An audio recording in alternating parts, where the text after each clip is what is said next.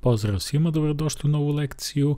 Do kraja ove lekcije ćemo rešiti zadatak koji je vezan za nalaženje zapremine lopte koja je upisana u kocku ili opisana oko nje. Potrebno je da nađemo odnos zapremine lopte koja je upisana oko date kocke i zapremine lopte koja je upisana u kocku. S obzirom da zadatak kaže odnos, znači imat ćemo operaciju deljenja ili razlomak, sve jedno je mogu recimo da iskoristim razlomak. Znači potrebno je da vidimo kolika je zapremina lopte koja je opisana. Oko kocke pisat ćemo da je to VO prema zapremini lopte koja je upisana u datu kocku pisat ćemo VU U kao upisana, O kao opisana.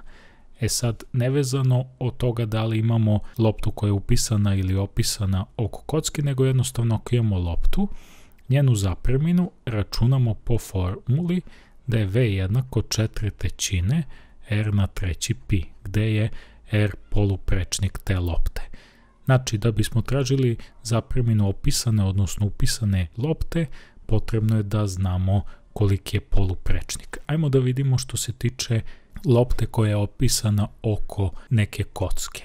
Koji bi bio njen poluprečnik? Ovde imam jedan presek gde imamo prikazan odnos između lopte i kocke, oko kocke opisana lopta, šta bi bio poluprečnik te lopte? Znači poluprečnik bi bio odavde do ovde.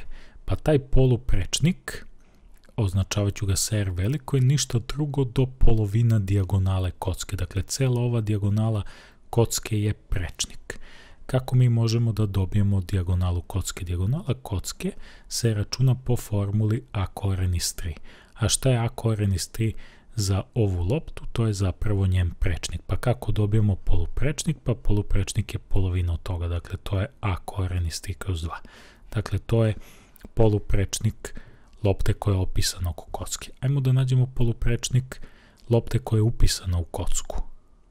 Taj poluprečnik bi bio odavde do ovde. Odnosno, odavde do ovde. A šta je to?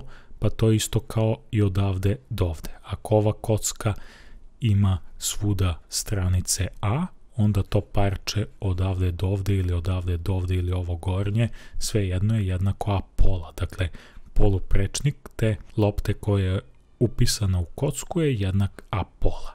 I onda samo ovde vršimo zamenu. Dakle, zapremina opisane kružnice se dobija po formuli četvrtećine puta r na treći, ajde napisat ćemo veliko r na treći pi, gledajući ovu formulu ovde, a zapremina upisane će biti četiri puta malo r na treći pi. To je dalje jednako, možemo skratimo četiri trećine i četiri trećine, pi, pi, i dobit ćemo da je taj odnos zapravo jednak odnosima kubova ovih poluprečnika. Ajmo da nađemo koliki je poluprečnik opisane kružnice na treći, znači to bi bilo jednako a koren iz 3 sa 2 pa na treći, a r malo je a pola pa na treći. To je dalje jednako, pisat ćemo ispod, a na treći koren iz 3 kad podignemo na treći, to je 3 puta koren iz 3, kroz 2 na treći 8, a kad dignemo na treći a na treći, 2 kad dignemo na treći, to je 8.